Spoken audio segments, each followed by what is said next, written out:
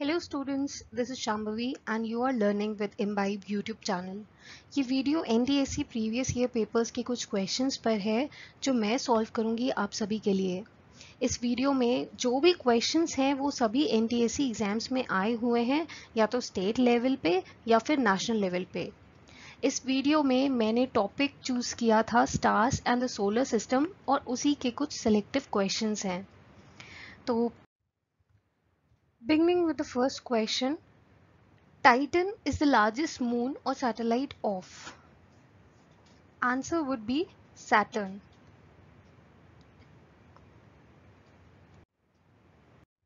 I have shared here the 10 largest moons in the solar system. And you have to remember all these names for your NTSE exam.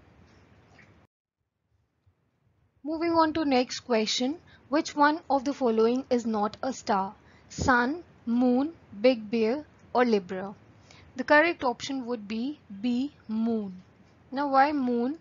Because a star is defined as an object whose mass is sufficient enough for the process of nuclear fusion to occur and be sustained. Now what is nuclear fusion? Nuclear fusion is a process in which hydrogen atoms are fused together to form helium. Two hydrogen atoms they combine to form helium and it only happens जब object के पास इतना enough mass हो. Stars different होते हैं planet से in that are mostly more massive, ज़्यादा massive होते हैं from planets. तो क्या होता है? They allow to fuse together and release energy. The moon is now nowhere near being massive enough for nuclear fusion to occur. Therefore, moon is definitely not a star. Next question. The first artificial satellite was Sputnik 1, Explorer 1, Aryabhat, Luna 3. The correct answer is A. Sputnik 1. Sputnik 1 was launched on 4th October 1957 by Soviet Union and was launched as the world's first artificial satellite. Moving to next question. The evidence cited, cited by the scientists for the continued expansion of universe is A. Movement of asteroids in space B. Occurrence of supernova explosion in space C. Observation of redshift phenomena in space D. Appearance of flying saucers so the correct answer would be C observation of redshift phenomena in space. What is redshift phenomena? So redshift is the displacement of the spectrum of an astronomical object towards longer or red wavelength. Red wavelength की ज़्यादा wavelength होती है longer wavelength होती है तो displacement जो होता है स्पेक्ट्रम का वो रेड वेवलेंथ की तरफ़ हो जाता है ऐसा ही कुछ देखने को मिलता है डॉपलर्स इफ़ेक्ट जब आपने साउंड पढ़ा होगा। Doppler's effect is a change in wavelength that result in a given source of waves light और radio waves and an observer are in motion with respect to each other next question angle of elevation of pole star observe observe from anywhere on the earth is approx equal to. तो इसमें answer होगा latitude of that place तो इसमें latitude कैसे होगा? Position जो pole star की होती है, वो क्लोज टू पोल होती है और कोइंसाइड करती है with the axis of rotation of the earth इसलिए जो एंगल ऑफ़ एलिवेशन होगा पोल स्टार का at any place is nearly equal to latitude of that place right now next question है between which two planets the orbit of Ceres lies इसका correct option होगा Mars and Jupiter moving on to next question biggest planet of the solar system is इसमें तो obvious answer है सभी को मालूम होगा Jupiter which is also called the giant planet. Eighth question, Indian Regional Navigation Satellite System IRNSS has a group of dash satellites. तो इसमें answer होगा seven knowing something about IRNSS Indian Regional Navigation Satellite System with the operational name NAVIC Navigation with Indian constellation is a system of seven satellites. Three geostationary orbit में होते हैं और four geosynchronous orbit में this is a satellite navigation system like GPS जो कि provide करता है position और टाइमिंग सर्विसेज़ बहुत ही हाई एक्यूरेसी पे in real time now moving on next question the tail of comet points away from the sun due to the correct answer would be radiation pressure. So, the comet tails will always point away from the sun क्योंकि radiation pressure होता है sunlight का।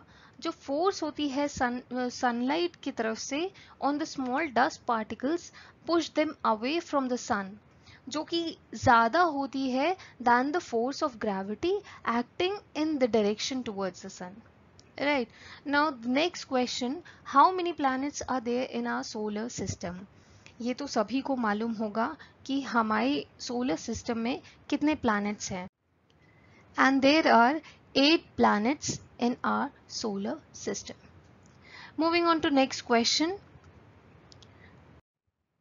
What are the names of two moons of the Mars? So the correct answer would be Phobos and Deimos. Why so? Mars has two moons, Phobos and Deimos. Phobos yani fear, Deimos means panic and these were named after the horses that pull the chariot of Greek war god Ares, the counterpart to the Roman war god Mars. Right. Now next question moving on to the celestial object having huge amount of matter compressed into a very small region with intense gravitational field is. The answer would be black hole what is a black hole? A black hole is a region in space which has a very high and intense gravitational force. No piece of matter or even light can escape from inside a black hole. कोई भी चीज़ अगर black hole के अंदर जाती है तो वो वापस नहीं आ सकती क्योंकि वहाँ पे इतना ज़्यादा इंटेंस ग्रेविटेशनल फोर्स होता है जो उसे अंदर खींच लेता है। ब्लैक होल एक ऐसा सेलेक्शन ऑब्जेक्ट है जिसमें लॉट ऑफ़ एक्यूमलेटेड मास होता है by pulling together the interstellar gas and all the surrounding objects by the action of gravitational force next question the sun is the centre of planetary system was propose by Galileo, Angstrom, Copernicus or none of the above. So the correct option would be Copernicus. So Nicolaus Copernicus proposed that Sun is at the center of the solar system with the planets orbiting it. 14th question, the Earth spins around its axis from north to south, south to north, west to east or none of the above. So the Earth spins around its axis from west to east. How come west to east? So our Earth moves all the time spinning on its own axis from west to east. The imaginary line that passes through north and the south poles of the earth is called the axis of rotation. So you will not tell the axis of rotation that it is from north to south. Here the question demands that earth spins around its axis from which direction to which direction. So the correct option would be west to east. Next question or the 15th question. Day and night of the moon have been found to be approximately equal to 8 days of earth, 14 days of earth, earth's one day or none of the above. So the correct option would be 14 days of earth. If we define a day as the amount of time it takes the sun to return to the same point on the moon's horizon after the moon completes a new revolution around the earth, right? Then every lunar day lasts for 29.5 29.5 earth days this means that on every orbit the moon gets a little over 2 weeks worth of daylight followed by an equal amount of night time in other words हम ये भी कह सकते हैं कि at almost any given span on the moon sees two weeks of continuous daylight followed by two weeks of continuous darkness. An astronaut in the spaceship sees the sky as black, blue, green or white. The correct option would be black. Why black? Because there are no particles in space, so there is no scattered light. And hence no light will reach the astronaut and the astronaut in the outer space will observe the sky as black. Normally हमें from earth sky कैसा दिखता है?